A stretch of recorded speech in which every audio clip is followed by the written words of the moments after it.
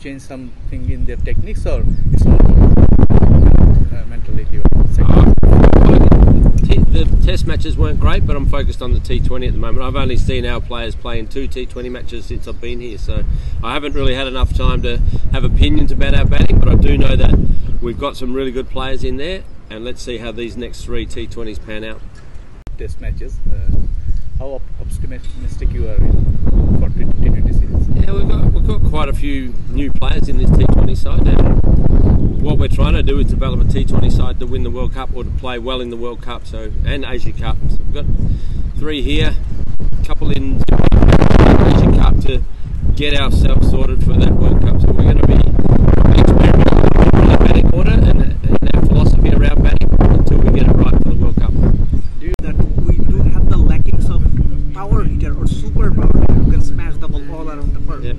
At the same time, it's been observed that we have a very lacking, very much lackings in the singles, and we play so many dot balls. Probably Bangladesh is the top most team the test and play the most dot balls in the Yep. T20 arena. So, do you think it's a matter of concern from Bangladesh before the World Cup? Yeah, it's tough. We, as a as a nation, I don't think we've got lots of big players. We don't have lots of big cricketers like um, Josh Buttler's six foot two, six foot three, and very big. Glenn Maxwell's six foot two. Stoinis is that big. Um, so we've got to find other ways. We can't just overpower other sides. We have a very good bowling lineup. I don't think we need to make massive scores, but we do need to put good scores on the board. So singles are important, but boundaries definitely win T20 cricket. Singles don't win T20 cricket matches.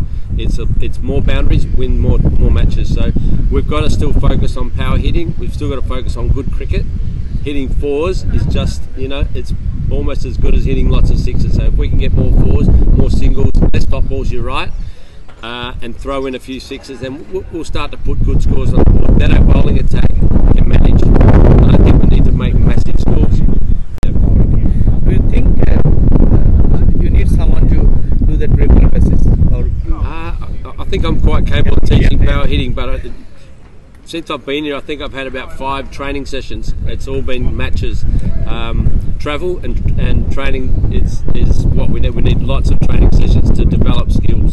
So that's what I need. A bit more time with the players and training if we're going to change the skills of the players. At the moment, we're always preparing to play a game. You can't tinker while you're playing. That's very hard for players to have new techniques or change their techniques and then play a test match.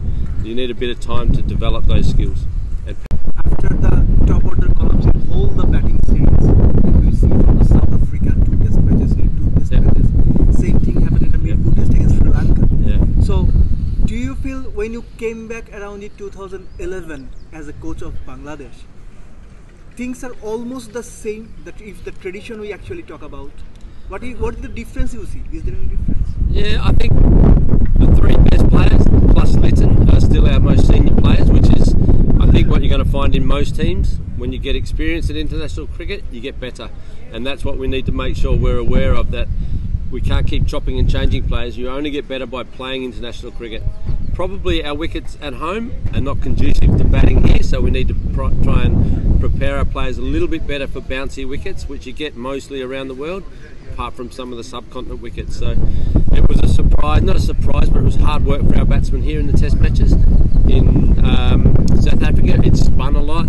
Uh, which we do get spin, but we get, we don't get spin and bounce. So we're, we're getting found out a little bit by extreme wickets at times.